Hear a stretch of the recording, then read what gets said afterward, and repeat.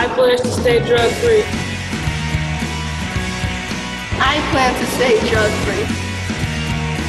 I pledge to stay drug free. I pledge to be drug free. I pledge to stay drug free.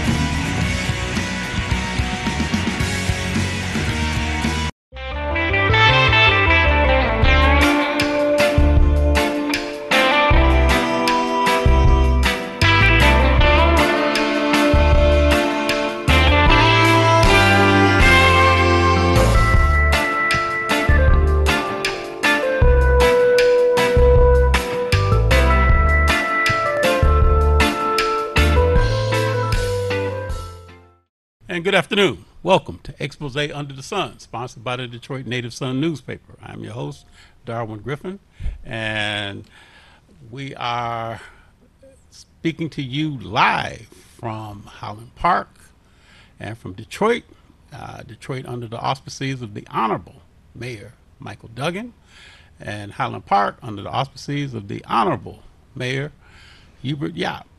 And again, we are live. If you'd like to join in on our conversation, our calling numbers are area code 313 868 0342, 313 868 0351, 313 868 4336.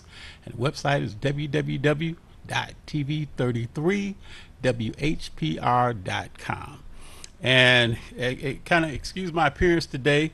Uh, today was kind of an interesting day for me. It's been a busy day. It's going to be a busier afternoon because we're out today. Uh, APRI, the Detroit Downriver chapter, the Metro chapter, and CBTU, Luna, and the coalition of uh, labor and union workers are all getting together today. And we have been over at 1191 local over on the boulevard, right there at 2161 West Grand Boulevard. And that's Laborers, local 1191 in Detroit, right across the street from where, if those of you that know, know where Tabernacle Church is at, right there on the corner of Grand River and the Boulevard and Dexter, where all those three streets intersect at, as well as across the street from Northwestern High School. But we'll be doing voter registration, voter education, we're going to have refreshments, and we're doing a car wash. And I know I'm going to say the four letter word that a lot of you are probably excited when you hear this word mentioned, when you say something that you're doing, and the four letter word is free. It is free. So if you like to get your car washed, you like to get educated in terms of say on the voting process, you like to register to vote, and you also need to complete the census and you got a little bit of you know you might have a few hunger pains. We got some food over there and we got you know they also we're selling t-shirts through our uh, apri detroit downriver chapter. I wish i had brought one in. I should have wore it but you know i didn't want to put it all over my hoodie. But um, it's a beautiful t-shirt that talks about black lives matter. And if you'd like to come today it's going to be from it's from it was from 8 o'clock this morning until 8 o'clock this evening so please, if you once you get off work today, or if you're out and about, please go over there. That's Michael Aaron. We appreciate you, Michael Aaron, who's the uh, president of local 1191. And so, if you want to get your car washed, get some free food, please stop on by. And this is through the AFL-CIO constituency groups that's sponsoring this. Also, too, um, just doing a little bit of housekeeping. Uh, this coming Saturday, uh, the Michigan Democratic Party Black Caucus, under the auspices of the uh, president, uh, Keith D. Williams, we're given a um, meeting of the minds, and it's bridging the generational gap. And it's going to be held over at Soul Village, which is located at 12901 Auburn, and that's near Evergreen and Schoolcraft. And what we're going to be doing is we're going to have a conversation with black men just to kind of talk to them about uh, entrepreneurship, talking about the voting process, the election process, and just trying to go and get black men to go and be engaged with each other, how to work with each other, especially in starting a business or just in support of any other events or activities that they're involved with. So please, uh, if you're you know free that day, uh, please come on out. Again, that's at 12901 Auburn Street. That's about three, four blocks east of Evergreen and just south of Schoolcraft. And again, this is hosted by the uh, Michigan Democratic Party Black Caucus, which I am the vice chair for the state. Uh, and also wanted to let everyone know too that if you are interested, you can look on my Facebook page and also look on our first vice chair, Miss Alexis Ramsey's Facebook page as well, as well as Keith D. Williams' page as well. So we'll be promoting that at the same time. And just also too, just uh, I mentioned on this show a couple weeks ago that uh, you know I lost uh, one of my sister-in-laws, uh, Miss Edna Harris, and they're having the um, viewing this Friday, and her homegoing services are going to be this Saturday. So again, uh, our hearts you know go out to uh, her and to our family as well. So please uh, keep our family lifted up in your prayers. And just want to give a quick little shout out. Uh, you know, my, my compadre just walked into the studio. I have to always give her a shout out whenever she comes in my presence. Uh, and that is the first vice chair of the Michigan Democratic Party Black Caucus. The awesome. I'm sure her name probably doesn't have to be announced because probably if I describe her and tell all of the things that she does and how awesome she is, the first name that probably will come across your mouth either in voice or in whisper is going to be Miss Alexis Ramsey. So we definitely want to give a shout out to Miss Ramsey, and also a shout out to her family as well. So you know, Miss Ramsey is doing a, a, a, very admirable job in terms of saying making sure that Mama Ramsey and Papa Ramsey are well taken care of. So shout outs to them, and also want to give a shout out. I'm a, I'm a because this is a point of privilege. I'm gonna give a shout out to ISIS as well. So that'll put a smile on everybody's face over there in the Ramsey household. And also, just wanted to let everybody know too that again, just a reminder, today is National Voter Registration Day. So make certain that you find persons, just like we were talking about what we're doing over there at 1191 local, to register to vote. So the Deltas, the AKAs, and other uh, fraternal and sorority organizations are getting together to, you know, do some things for making certain that people are registered to vote in conjunction with NAACP, as you see the cap that I'm wearing today. And lastly, I want to, you know, let everybody know too, make sure that you complete the census. Uh, if you have someone that you talk to that asks you if you've completed the census, if you haven't, please, please, we ask you to complete that census.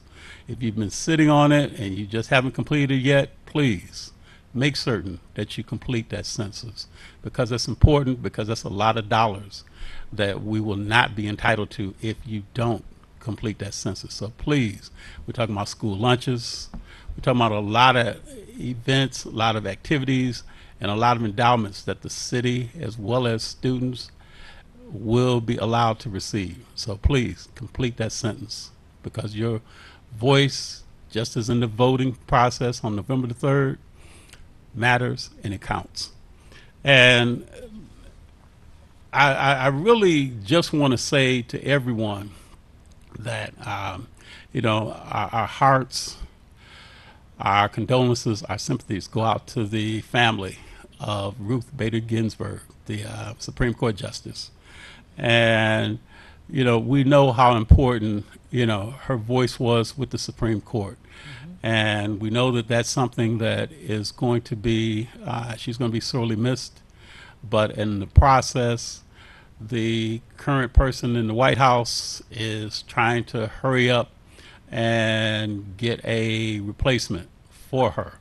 So uh, one of the things that uh, Justice Ginsburg said before she made her transition was that she was hoping that she would still be able to see the election day.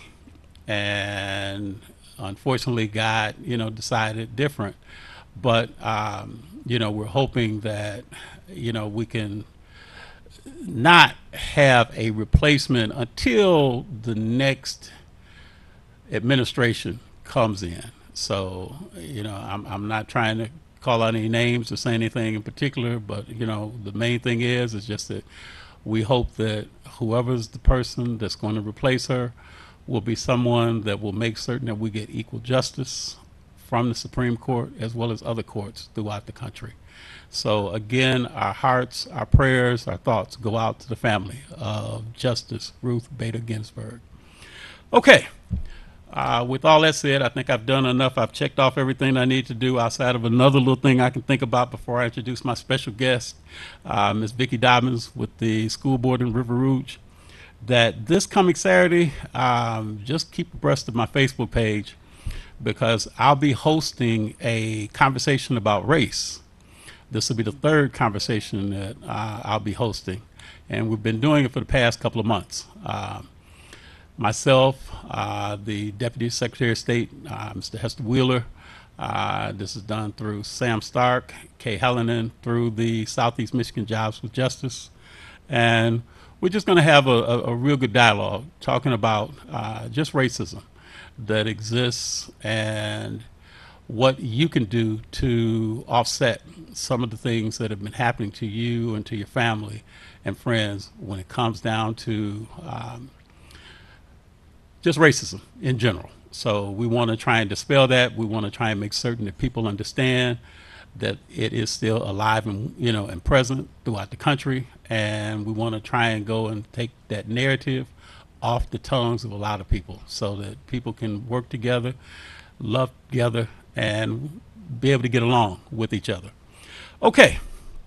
All right. With all that said, now my special guest today is Ms. Vicki Dobbins. And again, I, as just as I said with Ms. Ramsey, probably needs no introduction. Um, Ms. Dobbins has a prominent role with the school board out in the city of River Rouge. And I'm sure that any time that you see Ms. Dobbins, the first thing Ms. Dobbins is going to do is she's going to show her finger with that big ring on it that shows that River Rouge was state champs and I'm sure that she's got it up, but so she's showing it on her Facebook page to make sure that everybody sees it. But uh, you know, it's a big ring. Looks like one of these Super Bowl rings that it you see those, Bowl you know, ring. people wear. So this is River Rouge's Super Bowl. Then I correct? She just Correct. corrected me. She said Yes. this is their Super This Bowl, right? is the River Rouge Super Bowl ring. This is Yes. the River Rouge Super Bowl ring. Yes. All right, go ahead and expound a little bit on what was it that they won that awarded you the ring. So, thank you so much, Darwin, for again having me on your show, Vicki Dobbins from River Rouge. And um, I do several things in River Rouge now. I am an elected official, uh, school board member, and I am a, an elected precinct delegate in River Rouge. So, I want to make sure that you, you understand that there's a lot of things to be done out there in River Rouge.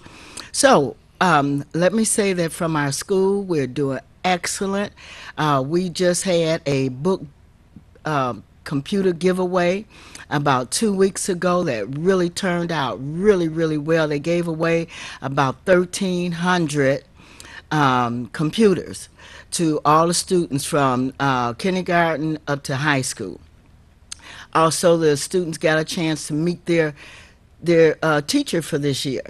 Uh, we're going to have, or we did have virtual um, learning, and we will also have on site learning because you have to understand all students don't do well on computer. So if your child is not doing well um, uh, on the computer, feel free to go to either one of our schools. We have four schools uh, in River Rouge elementary, middle, STEM, and high school. What, what And- is STEM? STEM is uh, um, science, technology, our science school. Okay. Yes.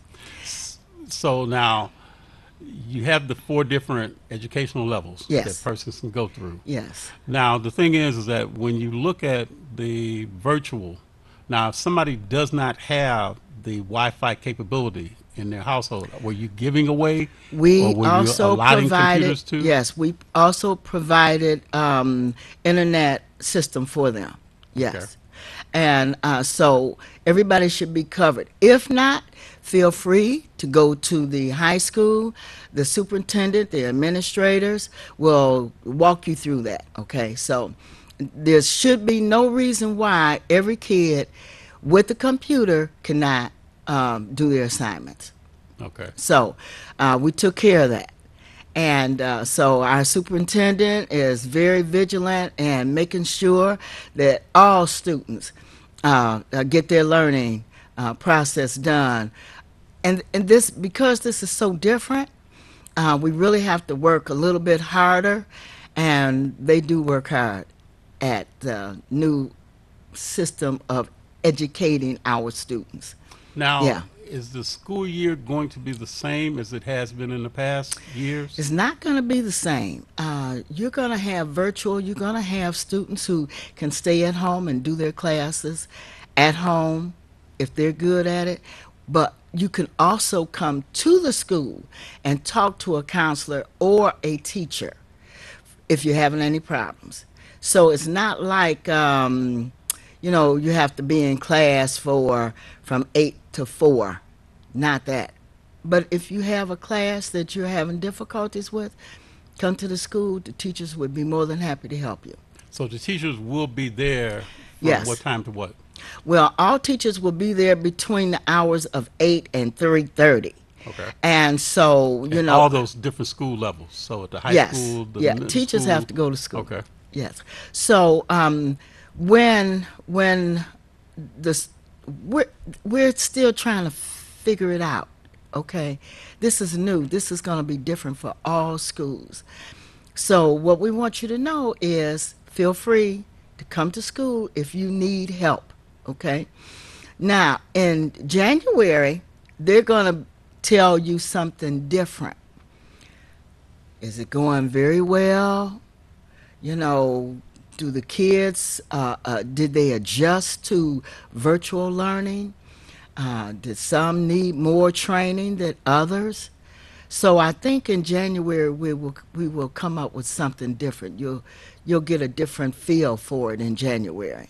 Well, I guess there's two things to look at in January. One is whether or not, like you said, if the children are learning, Are they but at the same time too, has the virus again yes again how is the virus um, is it is it are we having problems with the virus between september and december? That's again something new. We don't know yet. Okay. So everything right now is new and we just are piecing it together. Well, So- this is, I think it's a new process for everybody. It is. Because I think the respective, you know, from the Honorable uh, Governor Whitmer has pretty much like allotted the school districts to use their own, you know, determination. Determination of what whether or they not think, they wanted yeah. to have the district open. Right. So we just kind of we didn't open up completely, and so uh, you know we're just still feeling our way through. But Dr. Coleman uh, has guaranteed each parent, each school board member that he's doing everything that we need to do in terms of sanitizing, cleaning, uh, you know, making sure the students are very safe in the school district. So if a student does come up to the school for that additional learning, Learning, or that yes. additional tutoring, what protocols are set in place? for Okay, so we come into the have at the doors, at each door, we have sanitizer, we have uh, masks, we have uh, whatever you need right there at the door. So before you go in, you have to make sure that you are totally clean, I guess, you know. So you don't want to, um, you don't want the students to come in and, and um, get a virus that they didn't expect to get. And you don't want them to take it back home. And they don't want them to take it home. Right. So now, do they take check temperatures and all that too? They check the temperatures, yes. Okay. Okay. And and what what is your feel in terms of say now? Do you think that we're getting a good handle on the virus to where come the first of the year that we may be back to or, or when do you think? Just just this is Vicki Dobbins, school Okay. board member. Okay. What is your perception as to whether or not if you think that maybe this time next year things might be back to somewhat normalcy. So, according to Vicki Dobbins, uh, we have a whole year before this virus is going to dissipate. Mhm. I think uh, a number that I've heard is 2022, and I believe that. Um, So you don't think, so you're saying that you've been hearing that it might not be until 2022 when this may be something that. That's are not- over. Okay. that's completely over. But for the next year and a half, someone is going to take the shot. People are going to stay home. You know, we're still still going to be on the alert. You know, we cannot drop our guard. We cannot lose our mask. We cannot stop using gloves. So again, you heard it from Vicki Dobbins, stay masked up, right? Stay masked up Okay. because, you know, particles in the air we just don't know. And as you know, um, Darwin, I am a survivor, and uh, I'm so proud to say that because I did go to Belle Isle and visit people who had the same virus that I had. But God bless me and allowed me to come to your show and say, mask up, make sure you're safe, because it wasn't a a uh, pleasant journey that I was on. So Well, that's one of the things that I think that they had a nice testimony out there at Belle Isle recently. Yes, they Where did. they had the pictures Yes. of persons that made their transition. Yes. You know, during that pandemic time. During the months of March up to the present, really. absolutely. But uh, it was a very beautiful testimony. I like to uh, give a shout out to one of my friends, Liz Johnson, who lost five members of her family. I'm sorry to hear that. She has my deepest sympathy. I, I there's All no due to the- way. to the yeah, virus? all due to the virus. to hear that. And you know, we just don't know what families have had to endure because of this virus. We just don't know, and I didn't know. And um, it was, I mean, it's so touching to know that people, how many people had actually lost, lost their lives. Well, you know, the main thing is, is that we, as you said, we can't let our guard down.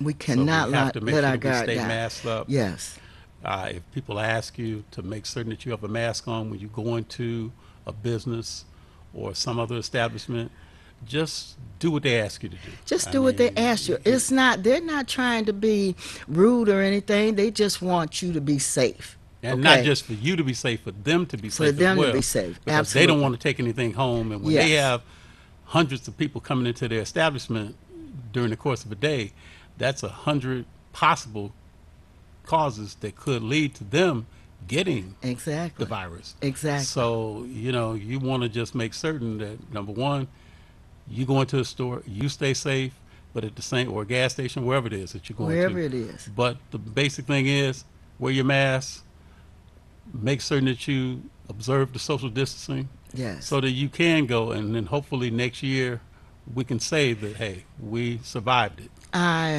heard last night they're going to have the auto show that I love, and it's going to happen next year, October the 1st.